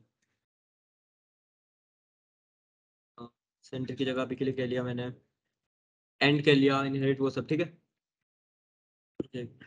क्या बना? तो अब एक्चुअली क्या, हमारे पास थोड़े से टाइम कंस्ट्रेंट्स हैं तो वही, अरे नहीं एक्चुअली इंपॉर्टेंट चीज़ पड़ी है। क्या? सीएसएस फॉन्ट्स और आइकन वगैरह। ठीक है तो एक्चुअली टेक्स्ट की जितनी सारी प्रॉपर्टीज़ है और भी काफ़ी सारी प्रॉपर्टीज़ है तुम लोग डॉक से जाके पढ़ सकते हो दोबारा यहाँ पे जाना एंड और जो स्पार्क की वेबसाइट है spark 2022.netifly.app वो हमारे इंस्टाग्राम अकाउंट पे पड़ी हुई ठीक है? वहाँ से तुम लोग विज़िट कर सकते हो वेबसाइट और जो भी कुछ भी पार्ट अगर मिस हो रहा है आज की क्लास का सारे नोट्स उधर अवेलेबल हैं कोड्स के स्निपेट्स वगैरह पड़े हुए हैं तो ट्राई करो अपने आप से भी कुछ करने का होता है, ठीक है? और आज का मेन था बॉक्स मॉडल था, वो भी ट्राई कर लेना चाहते हैं, अभी हम कुछ टॉपिक्स और कवर करेंगे। अगर कुछ भी क्वेरी है, तुम लोग क्लास के बाद, अभी हम लोग रुके हुए हैं, किसी को भी कोई भी डाउट है तो क्लास के बाद थोड़ा टाइम देंगे तो तुम अपने डाउट बता सकते हो, ठीक है? और सीएसएस पोजीशंस अभी बाकी है। पोजीशनिंग और फॉन्ट्स वगैरह कैसे इंस्टॉल करते हैं बाहर से वो सब बचा हुआ तो थोड़ा सा बता अगली क्लास में चलेंगे पहले मैं अगली तो एक बार के लिए अब थोड़ा सा जल्दी जल्दी कर लेते हैं। तो जैसे टेक्स्ट की हमारे पास सिमिलरली टेक्स्ट के हमारे पास बहुत सारी प्रॉपर्टीज़ होती है अभी के लिए कि हम लोग टेक्स्ट का कलर एडजस्ट कर सकते हैं। देन टेक्स्ट अलाइनमेंट प्रॉपर्टीज़ जैसे अभी मैंने तुम लोगों को टेक्स्ट अलाइन करके दिखाया टेक्स्ट लाइन सेंटर में कर सकते हैं। एंड देन हमारे पास एक प्रॉपर्टी होती है जिसमें हम लोग टेक्स्ट लाइन लास्ट कहते हैं, जिसको कि कोई भी एक पैराग्राफ हम लोगों ने जब भी लिखा तो उसकी जो लास्ट वो है तो जैसे ये वेबसाइट एक्चुअली क्या है, तुम लोग जाओगे एंड एक टाइट एडिटर इसका खुल सकता है कि जैसे तुम लोग गए टाइट योरसेल्फ पे अगर तुम लोगों ने क्लिक किया तो एक एडिटर खुल जाएगा, जहाँ पे तुम लोग लेफ़्ट में कोड कर सकते हो एंड राइट में उसका आउटपुट एकदम से आ जाएगा। तो हम हम लोग यहाँ पे क्या प्रॉपर्टीज़ एक्चुअली चीज़ कर रहे हैं कि टेक्स्ट अलाइन लास्ट इस टेक्स्ट अलाइन लास्ट से क्या होता है कि किसी भी पैराग्राफ का जो लास्ट लाइन बचती है उसको कैसे फॉर्मेट करना है? कि लाइक पूरा पैराग्राफ हमारा जस्टिफाई में है लास्ट वाली जो लाइन है उसमें चार वर्ड्स आएँगे तो चार वर्ड्स अगर पूरे में फैला दोगे तो वो कुछ ऐसे दिखेंगे। जैसे ये बहुत स्पेस स्पेस में दिखे तो ये अच्छा नहीं दिख रहा है। तो इसकी जगह हम लोग क्या कर सकते हैं कि इसको सिर्फ़ लेफ़्ट में अलाइन कर सकते हैं। या फिर इसकी भी डिफरेंट प्रॉपर्टीज़ है कि मैंने थर्ड वाला पैराग्राफ जो है पैराग्राफ सी है, उसमें टेक्स्ट लाइन लास्ट प्रॉपर्टी दे दी है जस्टिफाई देन बीच वाले में सेंटर दे दिए, उसमें राइट दे दी तो जो लास्ट पैराग्राफ का टेक्स्ट है, मैं इसको चेंज करता हूँ। देखो लास्ट वाले लास्ट लाइन को एक बार नोटिस करते रहो कि कैसे जा रहा है उसका टेक्स्ट कैसे चेंज हो रहा है। ठीक है? तो ये है काम इस वाली प्रॉपर्टी का। सिमिलरली और काफ़ी सारी छोटी छोटी प्रॉपर्टीज़ हैं जो याद रह भी जाती, नहीं भी जैसे अब टेक्स्ट डायरेक्शन वाली प्रॉपर्टी होगी कि ये राइट टू लेफ़्ट लिखी हुई है टेक्स्ट डायरेक्शन डायरेक्शन टेक्स्ट के अंदर direction R T L R T L का मतलब है राइट टू लेफ़्ट तो ये वाला जो टेक्स्ट है वो राइट टू लेफ़्ट लिखा हुआ है टेक्स्ट ठीक है?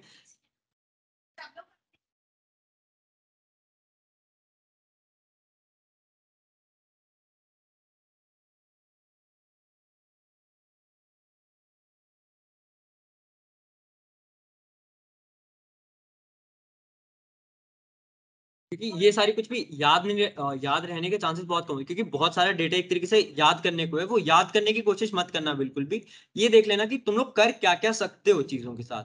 तो अब तो अब जैसे ये हमारे पास एक होती है टेक्स्ट ट्रांसफॉर्मेशन होती है। टेक्स्ट ट्रांसफॉर्मेशन में क्या होता है कि हम लोगों ने कोई भी टेक्स्ट है वो हम लोगों का लोअर केस में लिखा हुआ है। बोला तुम लोगों ने अभी तक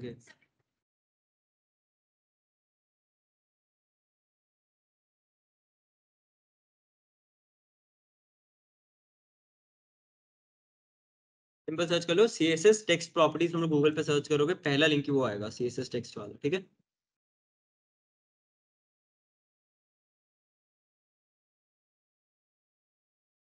प्रॉपर्टीज़ हम लोग गूगल पे सर्च करोगे, पहला लिंक वो आएगा सी एस एस टेक्स्ट वाला, ठीक है?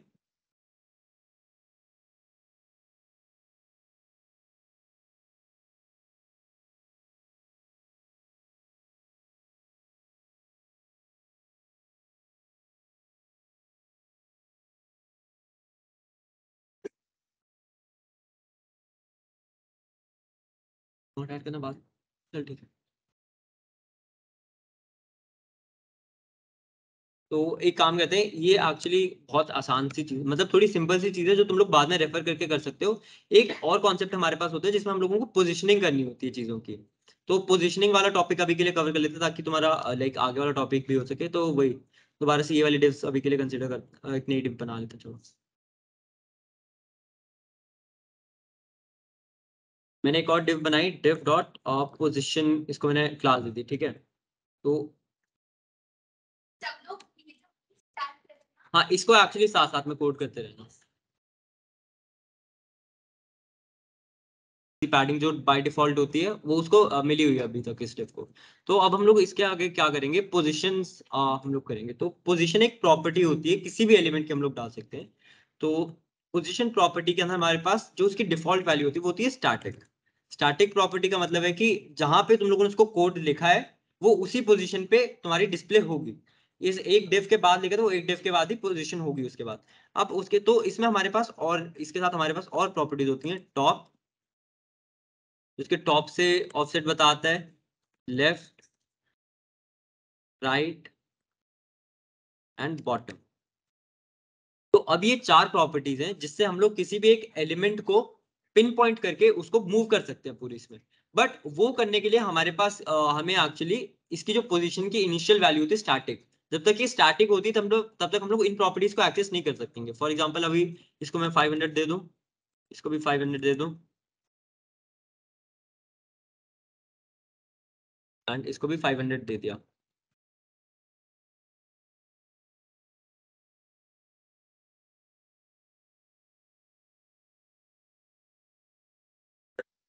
फाइव हंड्रेड पिक्सल कर दिया इसको मैंने।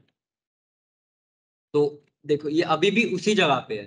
ये चेंज नहीं हुआ क्योंकि जब तक हमारे पास इसकी पोजीशन की वैल्यू स्टैटिक रहेगी तब तक ये हम लोग लेफ़्ट राइट जितनी भी पोजीशनिंग वाली प्रॉपर्टीज़ इनको यूज़ नहीं कर सकते। अब मैं क्या किया uh, इसे मैं इंस्पेक्ट में करके दिखा देता हूँ। अब मैंने इसकी वैल्यू पोजीशन स्टैटिक की जगह रिलेटिव कर दी। अब इस रिलेटिव का मतलब क्या अब ये देखो ये बिल्कुल बॉटम में आ गई कि टॉप से भी 500 पिक्सल लेफ़्ट से 500 पिक्सल राइट से 500 पिक्सल एंड उससे uh, 500 पिक्सल तो इसको हम लोग एक्चुअली एक और चीज़ होती है अभी के लिए ये हटा देते हैं।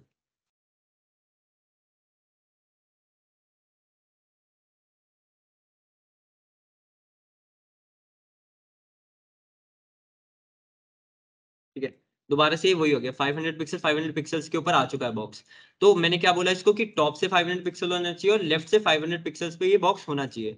तो अब रिलेटिव का मतलब क्या है? रिलेटिव का मतलब है जो उसकी स्टैटिक पोजीशन थी। जब हम लोग पोजीशन डॉट स्टैटिक अगर उसकी प्रॉपर्टी थी स्टैटिक उस टाइम पे उसकी जो पोजीशन थी, उससे 500 पिक्सल्स लेफ़्ट पे होना चाहिए 500 पिक्सल्स बॉटम पे होना चाहिए। तो वो वो मतलब है पोजीशन रिलेटिव का, ठीक है? कि हम लोगों को किसी भी ऑब्जेक्ट को मूव करना है तो उसको हम लोग 500 पिक्सल लेफ़्ट में मूव करेंगे 500 पिक्सल्स बॉटम में मूव कर देंगे। तो उसके लिए हम लोग पोजीशन रिलेटिव यूज़ कर सकते हैं। दोबारा। अगर रिलेटिव की जगह यहाँ पे स्टैटिक होता, जो उसकी डिफ़ॉल्ट वैल्यू है तो वो चेंज नहीं हो पाएगा। अब सिमिलरली हमारे पास एक और चीज़ होती है ठीक है। लेकिन अब इससे इफ़ेक्ट क्या पड़ रहा है? मान लो कि मेरे पास ये डिव एक ही है, मैं इसको और पाँच डिव बना देता हूँ। अभी पाँच की पाँच डिव्स यहाँ पे आ गई ना इनकी क्लासेस हटा देते हैं।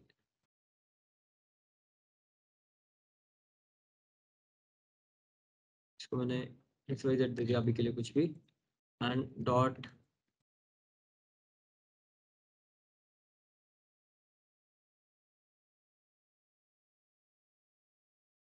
बस ये वाली प्रॉपर्टीज़ है इन सब के लिए। लाइक इसका एक और तरीका हम लोग ठीक है, एक काम करते हैं इसमें।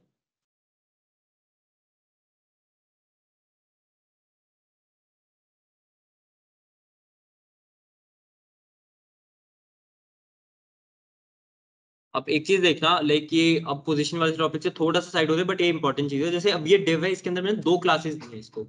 जब भी हम लोग क्लास एट्रीब्यूट के अंदर स्पेस डाल के दो वैल्यूज़ लिखेंगे तो उससे क्या होगा कि इसी डिव को दो क्लासेस मिल चुकी हैं। अब इस डिव की क्लास पीओएस पोजीशन पीओएस भी है और एक्सवाइजेड दोनों इस डिव की क्लास है।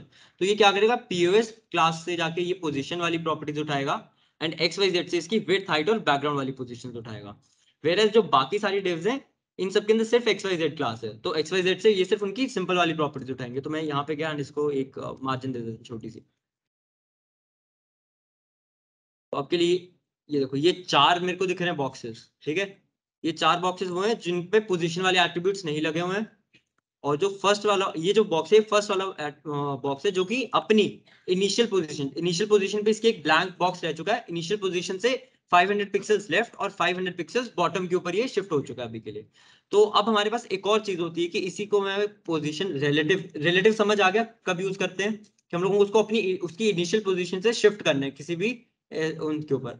अब मैं इसकी जगह एक और कर देता हूँ फिक्स्ड अब एक पोजीशन फिक्स्ड से क्या होगा कि ये हमेशा उतने पे ही रहेगा 500 हंड्रेड बाई फाइव से तो अभी आधा कट जा रहा है तो मैं इसको 500 की जगह टू हंड्रेड ही कर देता हूँ अभी के लिए टू कोई भी एक रैंडम नंबर दे दिया तो अब ये जो डिव यहाँ पे बन चुकी है, ये यहीं की यहीं रहेगी। हमेशा फिक्स रहेगी, कभी भी स्क्रोल नहीं होगा। इसका एक्चुअली यूज़ कैसे होगा? जैसे तुम लोग देख रहे हो, इस वेबसाइट में जो नैव बार है ऊपर, वो हमेशा अपनी पोजीशन पे फिक्स्ड है। तो ये यहाँ का यहाँ ही फिक्स रहेगा, कभी शिफ्ट नहीं हो पाएगा। ठीक है? अब एक और पोजीशन का एट्रीब्यूट प्रॉपर्टी होती है, जिसको हम लोग बोलते हैं स्टिकिंग स्टिकी से क्या होगा कि अब ये जो बॉक्स था, वो 200 और 200 200 बाई 200 पे फिक्स था। यहाँ पे पोजीशन स्टिकी से क्या होगा कि अभी पहले अपनी इनिशियल जगह के ऊपर ही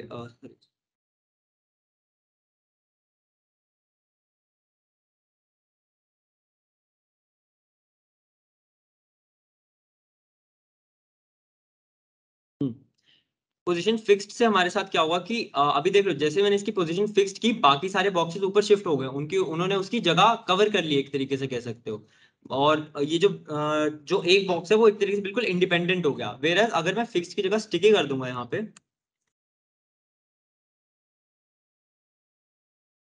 वो जैसे ही 200 पे 200 पे आएगा तो पहले उसकी जगह ब्लैंक रहेगी एंड बाकी वो उस, उस जगह पे फिक्स रहेगा ठीक है? इतना सा फ़र्क होता है कि उसकी जगह पे कुछ होना चाहिए या नहीं होना चाहिए। एंड देन अब हमारे पास एक एक और अच्छी चीज़ है जिसको हम लोग बोलते हैं एब्सोल्यूट पोजिशनिंग तो मैं पहले क्या करूँगा इसके अंदर एक और डिव बना दूँगा जिसको मैं क्लास दे देता हूँ डॉट एबीएस एक डिव बना दी जिसको मैंने दे दिया डॉट एबीएस और साथ में वो एक्स वाई जेड भी है। साथ में इसको एक मैंने वाइट दे दी। तो वाइट एक और क्लास बना दी मैंने। इसके अंदर क्या है? जो भी वाइट क्लास के अंदर डिव्स होंगे, उनका बैकग्राउंड कलर वाइट होगा।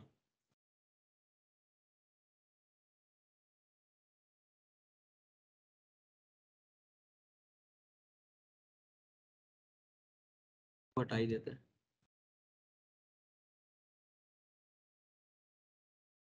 Height hundred pixels width hundred pixels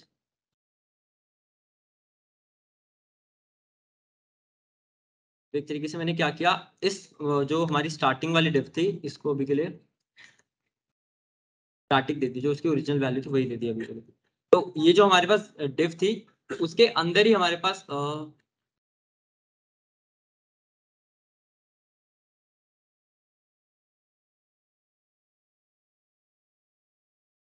तो देख लो जो हमारी सबसे पहले वाली डिफ थी उसके अंदर मैंने एक और डिफ बनाई जिसको आ, मैंने एक एब्सोल्यूट क्लास दी और एक वाइट क्लास दी है। तो वो क्या है एक डिफ के अंदर एक छोटी व्हाइट कलर की और डिफ बन चुकी है ठीक है? तो अब मैं इसको क्या करूँगा इसकी भी पोजिशनिंग दूँगा बट उसको एब्सोल्यूट पोजिशनिंग तो एब्सोल्यूट पोजिशनिंग एक्चुअली करती क्या है एक बार उसको लाइक बाय डेफिनेशन पढ़ लेते तो absolute position is position relative to the nearest position ancestor instead of position relative to ठीक है?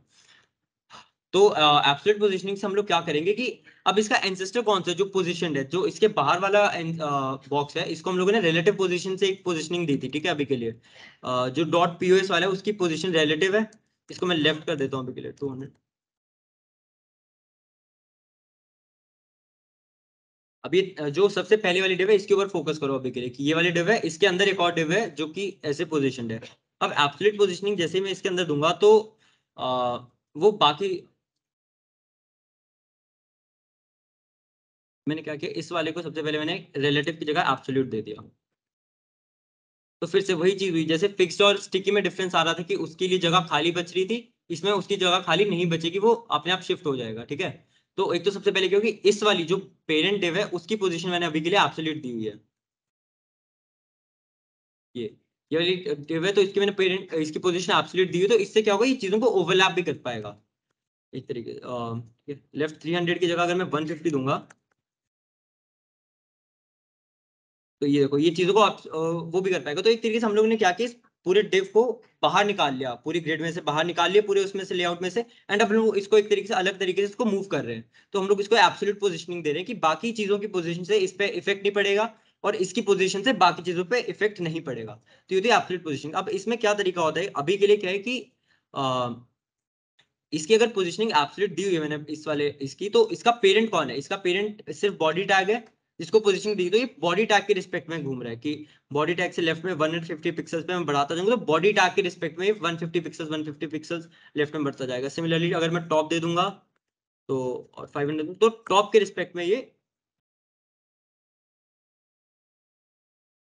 यूनिट डाल दिया करना। टॉप के रिस्पेक्ट में 500 पिक्सल्स नीचे आ गया, ठीक है?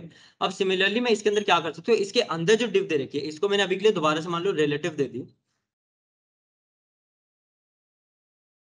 एंड इसके अंदर जो मैंने एक व्हाइट कलर का बॉक्स बनाया था डॉट एबीएस क्लास थी उसकी, उसको भी मैंने पोजीशन दे दी पोजीशन एब्सोल्यूट और उसको दे दिया टॉप टेन ट्वेंटी पिक्सल्स अभी के लिए ये दे दिया। अब तुम देखो व्हाइट वाला बॉक्स नीचे शिफ्ट हो गया हल्का सा। ठीक है? ये क्यों हुआ? क्योंकि अब जो अंदर वाली डिव है वो किसके रिस्पेक्ट में पोजिशन है? वो अपनी बाहर वाली डिफ के रिस्पेक्ट में पोजिशन है। बॉडी के रिस्पेक्ट में पोजिशन नहीं है। वेर एज अगर मैं बाहर वाली जो पीओएस डिफ थी जो एच वन वाली डिफ थी इसके ऊपर से अगर मैं रिलेटिव पोजिशनिंग हटा देता हूँ तो अब जो ये आ, ये डिफ पोजिशन होगी वो बॉडी टैग के रिस्पेक्ट में पोजिशन होगी। ठीक है? दोबारा दिखा देता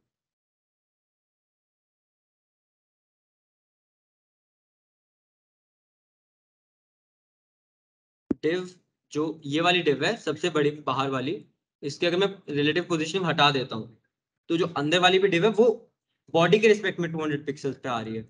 डिव क्लियर नहीं हो रहा अभी के लिए।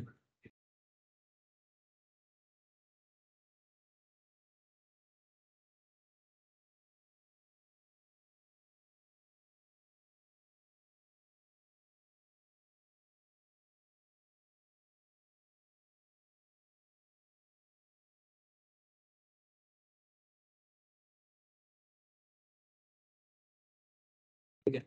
तो एक बार के लिए दोबारा देख लो कि जो एब्सोल्यूट पोजीशनिंग वाली डिव है अभी के लिए वो इस वाली डिव के रिस्पेक्ट में पोजीशनड है वेरस बाद में वो अगर मैं इसकी यहाँ पे पोजीशन रिलेटिव हटा दे तो वो बॉडी के रिस्पेक्ट में 50 पिक्सल से पोजीशन होगी।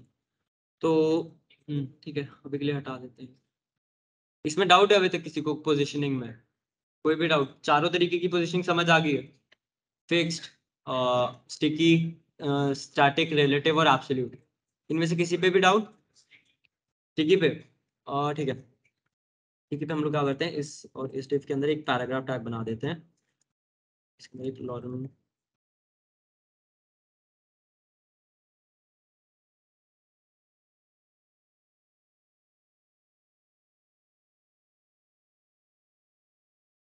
तो अब मैंने पैराग्राफ बनाया, जिसको क्लास दे दी मैंने डॉट स्टिकी की।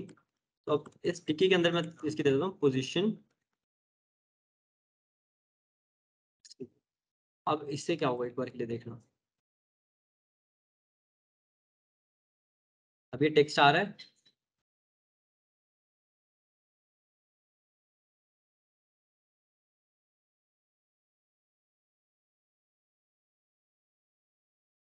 जैसे ये जैसे ये टेक्स्ट आएगा अभी।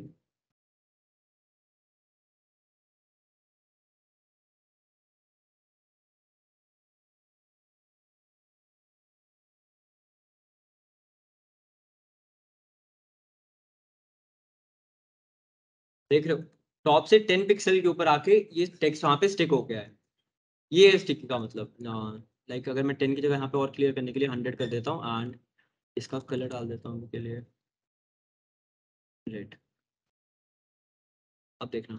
अब ये टेक्स्ट है नॉर्मल अपनी जगह के ऊपर है। जैसे हम लोग इसको स्क्रॉल करते करते ऊपर आएँगे तो यहाँ पे स्टिक होकर रह जाएगा। तो ये है स्टिक का मतलब ठीक है? एंड uh, तो ये भी काफ़ी जगह यूज़ आ जाता है। जैसे बाद में देखेंगे। जैसे अब ये देखो, ये वाला नैप बार देख लो अभी के लिए। अब ये इस जगह पे जब मैं स्क्रॉल कर रहा हूँ तो ऊपर वाला नैप बार हाइड हो रहा है। बट जैसे ये नैप बार ऊपर जाएगा ज़ीरो पिक्सल पे पहुँच जाएगा तो ये स्टिक होकर रहेगा। तो ये है स्टिकी और फिक्स में डिफरेंस वेर अगर मैं इसी को, क्या बोलते हैं इसको, इस टेक्स्ट को स्टिकी की जगह फिक्स दे देता है यहाँ पे तो ये हमेशा ही उतनी हाइट पे रह रहा है ठीक है? स्टार्टिंग इसने नीचे से नहीं की, जो उसकी ओरिजिनल पोजीशन है। ये स्टिकी और उसके अंदर डिफरेंस और किसी को कोई डाउट तो हम्म, ठीक है इतना ही है। एक चीज़ और देख ले शगुन।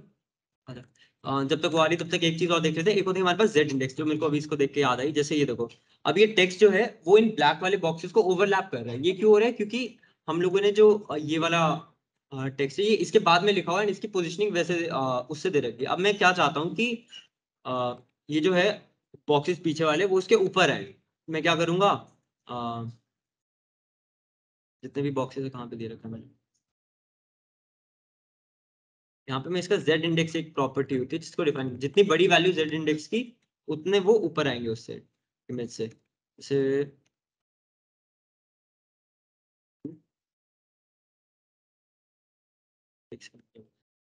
इसको मैं इनलाइन जल्दी से दे देता हूँ चीज़ समझाने के लिए बस।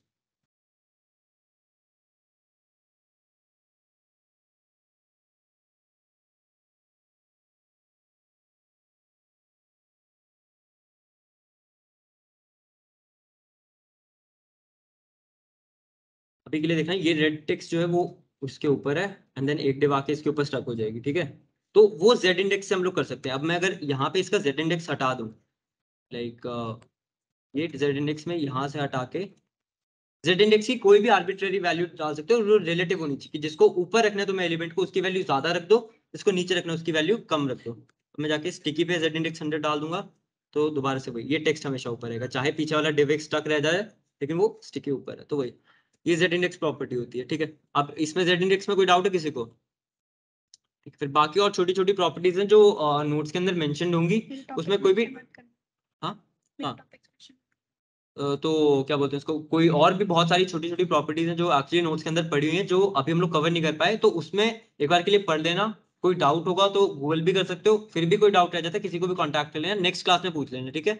नेक्स्ट क्लास में किसी को डाउट होगा थोड़ा जल्दी आ जाना और क्लास से। या फिर क्लास के बाद अभी रुक के पूछ लेना। ठीक है? Thank you guys